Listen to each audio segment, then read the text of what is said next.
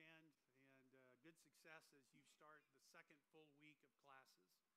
I'm delighted to uh, have the opportunity to be here, and I'm thankful for God's good providence in our lives as a school and uh, the fact that we're here today celebrating and singing and praying together the Word of God is just an incredible privilege and an honor. I'm going to ask you to take your Bible to the book of Ecclesiastes, the book that we are studying uh, this semester as we look at life under the sun. I know that this is our third message uh, in the series, and so today I want us to read together a portion of the text and pray together as we start to answer the quest for significance as we pursue life under the sun. Let's read together Ecclesiastes chapter 1, beginning in verse 12. Solomon said this I, the preacher, have been king over Israel in Jerusalem. And I applied my heart to seek and to search out by wisdom all that is done under heaven. And here's what he concluded after his search It is an unhappy business that God has given to the children of man to be busy with. I have seen everything that is done under the sun, and behold, all is vanity and a striving after the wind. What is crooked cannot be made straight and what is lacking cannot be counted. I said in my heart, I have acquired great wisdom, surpassing all who were over Jerusalem before me, and my heart has had great experience of wisdom and knowledge. And I applied my heart to know wisdom and to know madness and folly. I perceive that this also is but a striving after wind. For in much wisdom is much vexation, and he who increases knowledge increases sorrow. Our Father, as we come together around your word this morning, I pray that your word would speak truth to our heart and that these good and delightful words that you said you had given us through Solomon would indeed move us to righteousness, prod us to seek a deeper and fuller meaning out of life than can be found just in our own human wisdom. And so, Lord, as we live and as we serve, May we fear you and keep your commandments. And may this word today help us to do that. In Jesus' name, I pray. Amen. How many of you have ever had the experience of a mom or dad who has tried to relive for you the experience they had in their teen years? Can I see your hands if you've had that experience? Your mom uh, or your dad sit around and they start talking about what it was like when they were young. Is ever, you know what I'm talking about? And maybe they break out their old clothes. You ever, you ever seen that? And you're like, please don't, please don't do that. That that's just nasty. That that just that, that should not see the light of day. Or you look at something and you're like, you know what? That's pretty cool. Can I borrow that? Can I use that? Or they break out their old albums, you know, the old vinyl, and I know that's making a comeback. They break out the old uh, albums and they're like, You got to listen to this tune. And you're like, Could you spare me?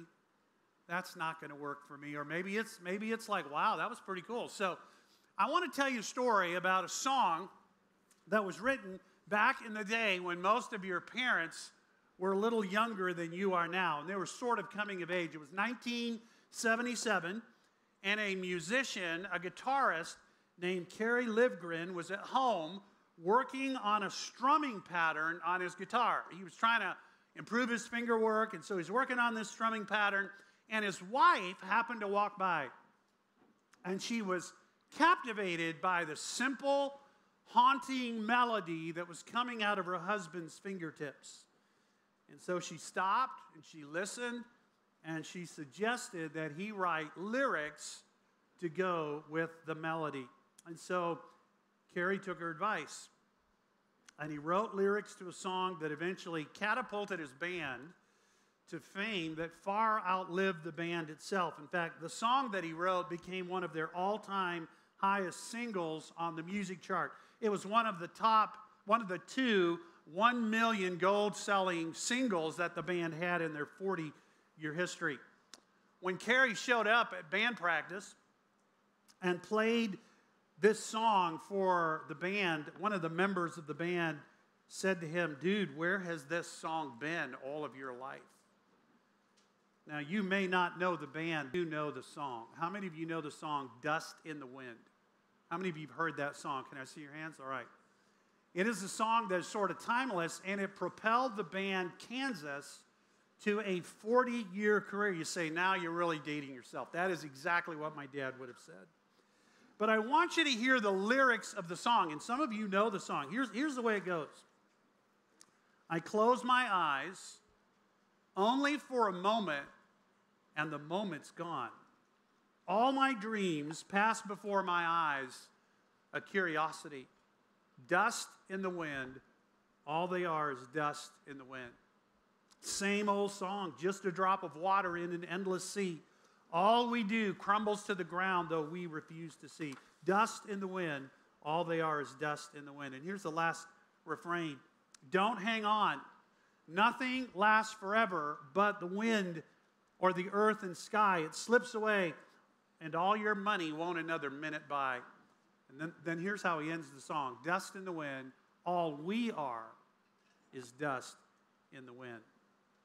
Now, the story behind that song is interesting because Kerry, the, the author of the song, got the content of the song from a book on Indian poetry he happened to be sort of perusing at the time. But he got the title of the song from the book of Ecclesiastes, from two verses that are in the book. He got the title from uh, chapter 1, verse 14. So look down at verse 14, where Solomon said, I've seen everything that is done under the sun and behold, all is vanity and a striving, a chasing after the wind. There's the wind in the title. And then in chapter 3, verses 19 to 20, Solomon said, What happens to the children of men and what happens to the beasts, the animals, is the same. As one dies, so dies the other.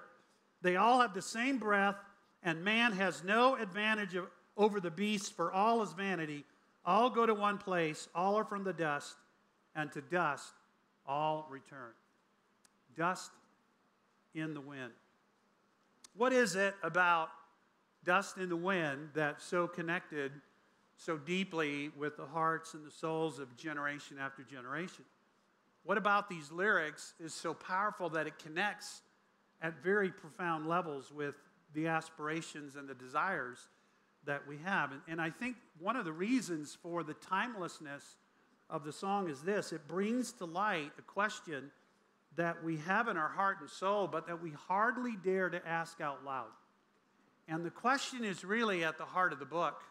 And the question is this What is the real meaning and significance of life?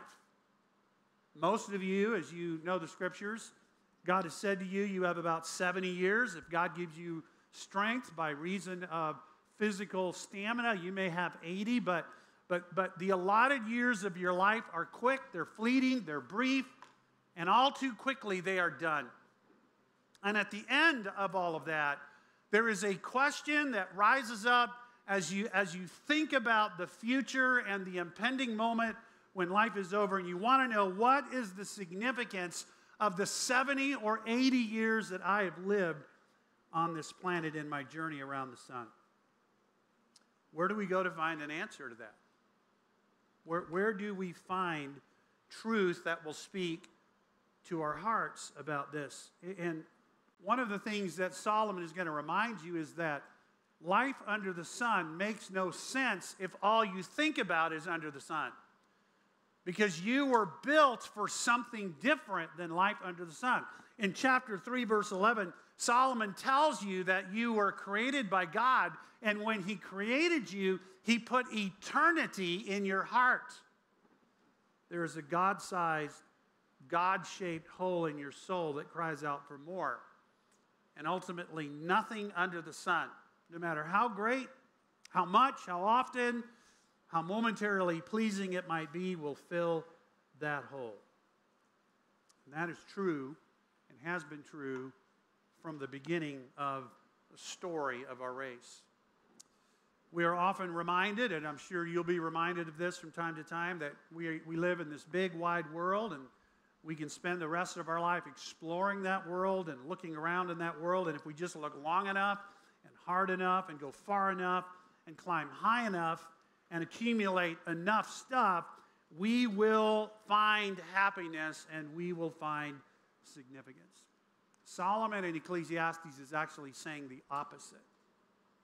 He's telling you that the world in all of its entirety is actually too small to fit in the God sized hole, to fit in the eternity that God has placed in your heart. Left to explore life by ourselves, under the sun, we will find that this life will intellectually overwhelm us. It will materially, ultimately impoverish us. It will morally scandalize us. It will personally diminish us, relationally isolate us, and spiritually destroy us if all we look at is life under the sun. So, this is how Solomon concluded the life under the sun. He said this in chapter 3, verse 17 I hated life. I hated it because what is done under the sun was grievous to me. It was burdensome. It was heavy, for all is vanity and a striving after the wind. That is why dust and the wind resonated with a generation so deeply and so powerfully. And so Solomon comes to that question with words. Notice how he starts chapter 1, verse 1 the words. Solomon says, I have words, and we're going to find out later where he got those words. But, but he tells you, I have answers to the question that you are raising. I have words, and these words we're going to find later are good words they are words that, if you will embrace, will actually bring delight to your soul. They will actually give you what you need for that eternity, that God sized hole that God has placed in you. These are good words and they are true words. They are reliable. They will tell you the truth about life under the sun and they will lead you to significance and to ultimate joy in life under the sun. And so, what are those words? And how do they bring lasting satisfaction and eternal significance to our hearts? And so let's notice in the opening two chapters of this book where, God, where Solomon introduces us to these words, how Solomon brings those words to bear. And, and I want to begin by noticing number one, that Solomon starts with a perplexing, a stunning conclusion. We, we noted this uh, last week in our, our time together in chapter 1, verse 2. This is his conclusion. This is the first thing he wants you to know about life under the sun. He says, Look, I have words. They're good words, they're accurate words, and if you embrace the words, they will lead you to significance and satisfaction. But here's what you need to know. Here's the first thing I want you to get as you listen to the words all is vanity. Vanity of vanities, says the preacher. Vanity of vanities. All is vanity. This is one of the key phrases in the book, and we need to make sure we understand what Solomon means when he tells us that all of life is vanity. The word vanity is the word Hevel, very similar to the name Abel in Genesis chapter 1. And usually, when we hear people talk about the word Hevel or vanity, we, we typically hear people say things like that means worthless or fleeting or empty or useless. And it may mean all of those things, but here in this context, it actually means something different. It means the idea of frustration. And, and frustration that comes because something has failed to live up to its purpose. Something has disappointed one's expectations. It describes something that is incongruous or that makes no sense or that does not fill its logical expectation or that is disproportionate. Maybe the best word is the word absurd. This is absurd. And Solomon is going to give you some examples of the absurdity of life. In chapter 8, verse 14, he, he points out that you can live your entire life and be righteous, and sometimes what should happen to the righteous actually happens to the wicked. And what should happen to the wicked is actually the lot of the righteous. And Solomon says it makes no sense. This is absurd. In chapter 2, verse 15, what happens to the fool is the same thing that happens to the wise. Here's a man who was careful his entire life, lived out of wisdom, lived by wisdom. Here's another man who his entire life cast off all restraints, did whatever he wanted, and at the end, Solomon says the same thing happens to both of them. They both die and they're both forgotten. And Solomon says it makes no sense. It's absurd. In chapter 2, verses 18, a man can work his entire life, build wealth, establish a kingdom or an empire, only to come to the end of his life and leave it to someone who did nothing to build it, who has no common sense to preserve it, and who will squander and destroy it in the course of his own life. And Solomon says, It makes no sense. Life is absurd. And, and, and, he points out this is not the occasional happenstance in life. This is often how life under the sun works. It follows no logic, it is incongruous it is irrational, it is absurd, and therefore it is the ultimate frustration. It is vanity of vanities. And by the way, this is exactly how Paul described the world in Romans chapter 8 when he said the creation, the world, was subjected to vanity, to futility, to frustration because of him who subjected it in hope that the creation itself would be set free from bondage to corruption and obtain the freedom of the glory of the children of God. Solomon starts off by saying, if you want to know the words that God has given you about life, it is this it is absurd, it is vanity.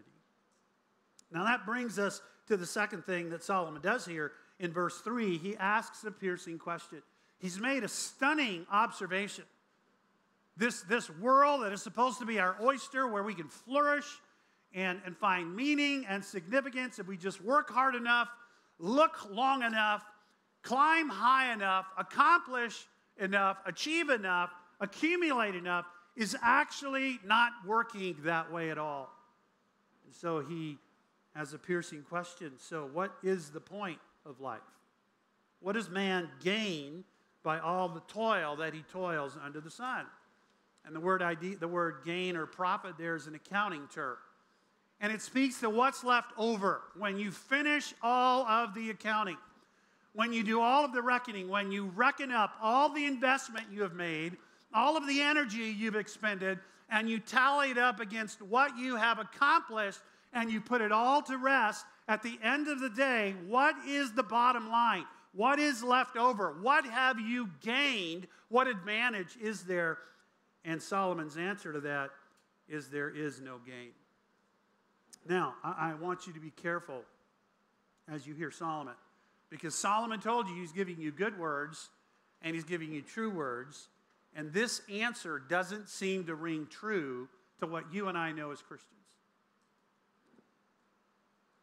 But Solomon is giving us a clue that we need to pick up on.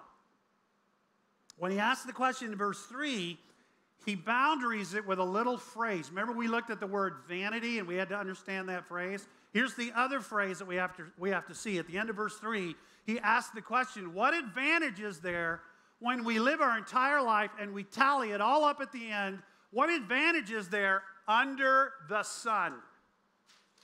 Everything that Solomon is talking about is boundaried by the idea that he is talking about life in a particular location, life under the sun, life in a place that you were not destined to occupy eternally. You were made for more.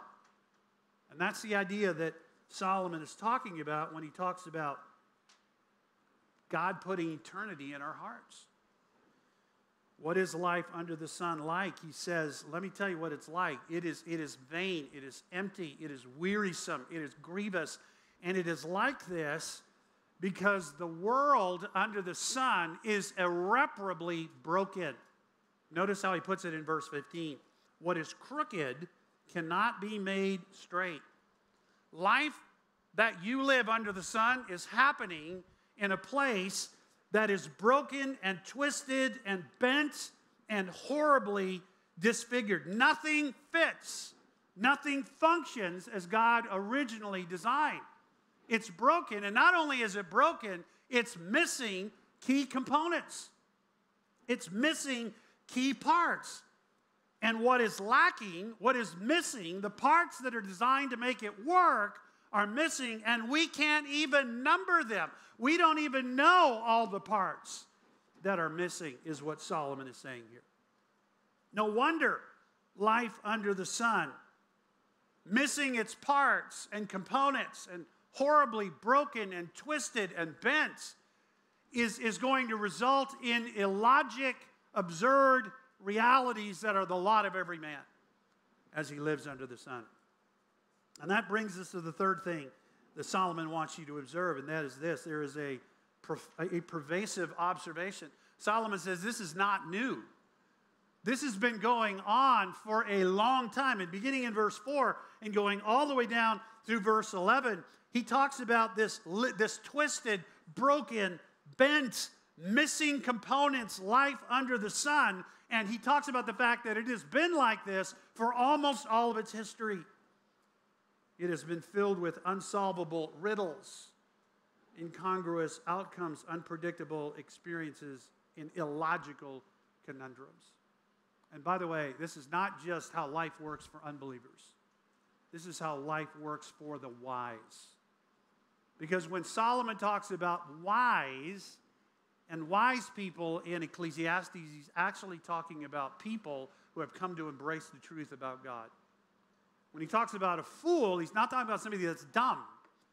He's talking about someone who has rejected true wisdom. And he is arguing that the same thing happens to both wise who've embraced the truth about God and the fool who has rejected it under the sun. So, how does Solomon express this in verse 8? All things are full of weariness to the point that a man cannot even begin to utter it. I mean, it just gets to the place where man can even talk about this because it is so wearisome, it is so grievous. Now, that's Solomon's conclusion. How do we know he's right? And that's the fourth thing that he does. He gives you a history of how he arrived at this conclusion through a personal journey or a quest.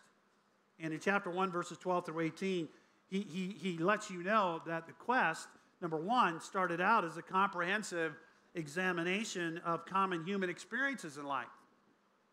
He said, I applied my heart to seek and to search out wisdom, all that is done under the sun, in verse 13 of chapter 1. And here's how he decided, uh, or here, here's what he concluded at the end of that sort of comprehensive search. It is an unhappy business. Look at verse 13. It is an unhappy business that God has given to the children of men to be busy with. I have seen everything done under the sun, and behold, it is all vanity and striving after wind. And then Solomon says, to make it worse, the more I studied, the more I explored, the more I examined, the more the frustration in my heart increased. I said in my heart, verse 16, I have acquired great wisdom, surpassing all who were over Jerusalem before me. My heart had great experience of wisdom and knowledge. I applied my heart to know wisdom and madness and folly. And here's what I learned I perceived that this also is striving after wind. For in much wisdom is much vexation, and he who increases knowledge increases sorrow. And so there's a comprehensive exploration of common human experience. And then there's a careful examination of what is considered good and noble and pleasurable in life. In chapter 2, verses 1 through 11, Solomon says, Come now.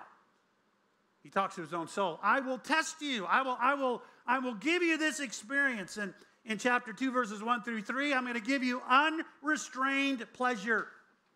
In verses 4 through 6, I'm going to give you unmeasurable possessions and accomplishments. In 7 through 8, I'm going to give you unmitigated passion. I'm going to let you enjoy everything that you want in life. And I'm going to give you in verses 9 through 11 unsurpassed power and reputation. And here's how he sums it up So I became great. I surpassed all who were before me in Jerusalem, and my wisdom remained with me. And whatever my eye desired, I did not keep from them. I kept my heart from no pleasure, for my, my heart found pleasure in all my toil, and this was my reward for all my toil. And then I considered all that my hands had done. and the toil I had expended in doing it. And behold, here's my conclusion Solomon says, all was vanity and striving after wind, and nothing was to be gained under the sun. So, comprehensive examination of all human experience, a careful examination of what is considered good and noble and pleasurable and desirable, and then a very thoughtful and careful and considered investigation of wisdom and folly. In other words, Solomon says, I'm going to go to moral and ethics, and I'm going to find out whether it's better to live a moral and ethical life or whether it's better just to cast off restraint and do whatever makes me happy at any given moment in life. And while Solomon discovered that even in a broken world, life works better when you embrace morality and ethics, at the end of the day, pure morality and sheer ethics are not enough to provide lasting satisfaction. They cannot fill the eternity sized hole that God has put in your heart. And the same thing happens to both the wise and the fool at the end. They both die and they're forgotten. So let's kind of let's kind of summarize this. After a life spent in intellectualism, hedonism, materialism, moral relativism, and by the way, those are the things that mark every generation.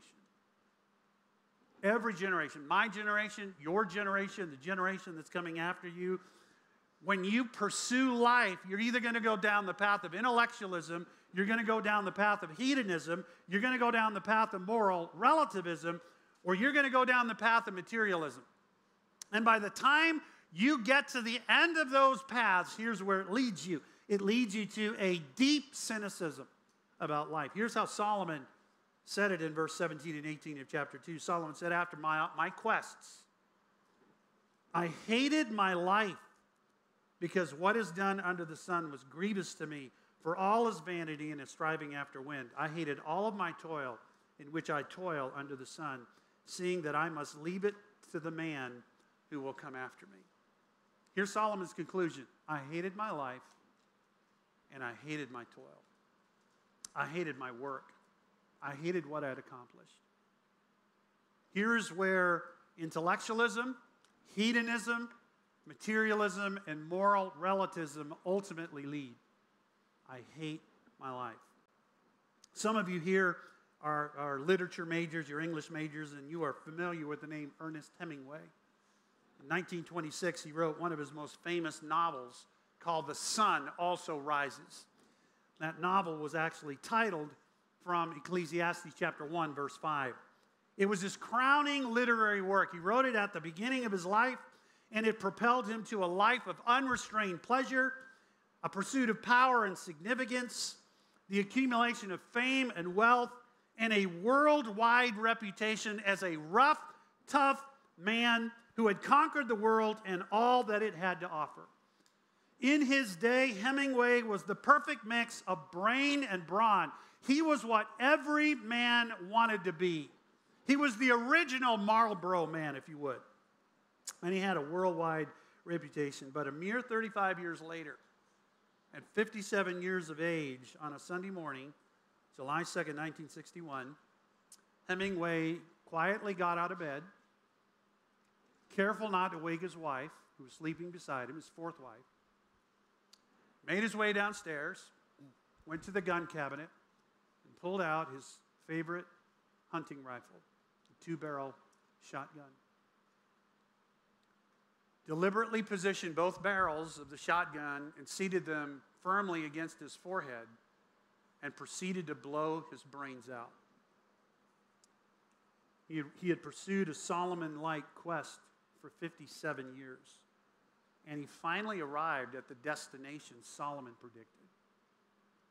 That life under the sun was not worth living. Intellectualism had led him to hedonism and then to materialism and then to moral relativism until life had lost any appeal for more life.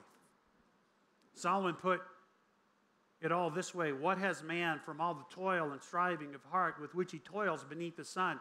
For all his days are full of sorrow, and his work is a vexation.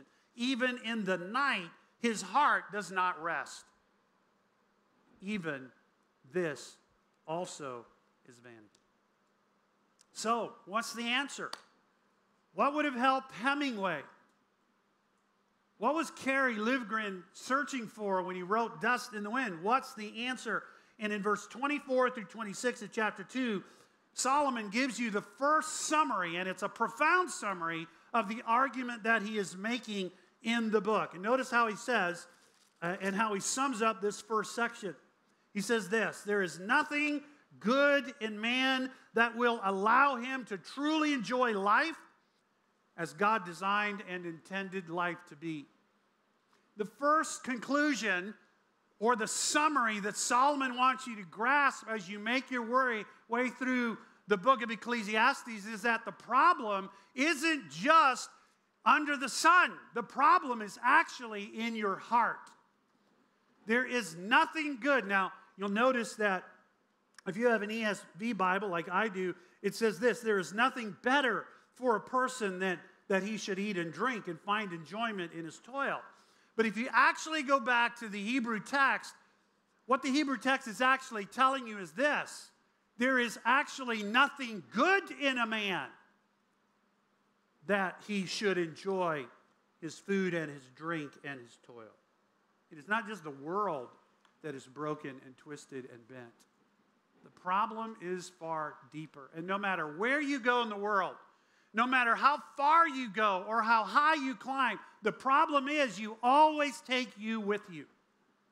And the problem that Solomon wants you to acknowledge is this there is nothing inherently good in you that would allow you to enjoy life under the sun. And the second thing that he says in verse 25 is this only God is able to give good gifts. It's not just that there's nothing good in you, there's nothing good in the world that is actually going to provide the kind of satisfaction you're looking for. Only God can give good gifts. Look at verse 25 of chapter 2. For apart from Him, apart from God, who can eat or who can have enjoyment? And the answer is no one. Only God can give good gifts to those who love and serve and please Him. And you see that in verse 26. For to the one who pleases Him, God has given wisdom and knowledge and joy. But to the sinner, to the one who doesn't please Him, to the one who hasn't embraced the truth about God, to the unsaved, God has given them the business of gathering and collecting, the business of chasing after the wind. So the question is how do I become the kind of person that pleases God? And Solomon says, here's how. Here's how. Remember your Creator in the days of your youth. This is exactly what we said when we started our series. Remember your Creator in the days of your youth. Do it now. And you do it by learning how to fear God, how to worship Him, and how to serve Him. You learn how to remember your Creator by fearing God and by keeping His commandments. By actually taking His word, these good words, embracing them, and doing them in your life. Then and only then will you and I find what our souls long for and, and, and fill that eternity sized hole that God built into our hearts that is designed to draw us and drive us to God. May God help us to do that. Can we pray together? Lord, thank you for these words. Lord, they are true. We acknowledge their truth. They're accurate. They do tell the truth about life. We, we can read the story of Ernest Hemingway and grieve over the, the, the tragic loss of, of, of life, gifted in so many ways, empty in so many other ways. And he is but one in a line of tens of thousands who have come to the conclusion that ending life is better than more life because life is weighty and grievous under the sun. You've told us the truth about life, but you've also given us good words that will lead us to satisfaction and true meaning in life. And so, as we discover those words and as we embrace those words, may those words change us. Lord, you said that your word would sanctify us because it's truth. And I pray that that would be the case in my life and in my heart and in the heart of every one of us this morning. In Jesus' name we pray. Amen.